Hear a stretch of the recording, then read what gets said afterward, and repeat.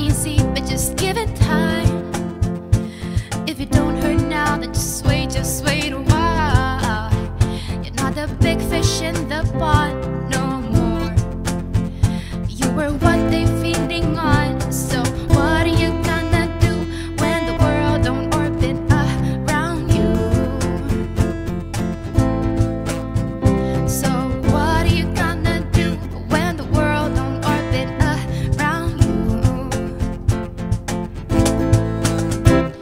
it fine living in the real world,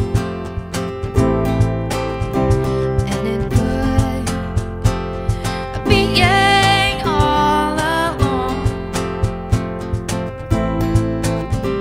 Where you from?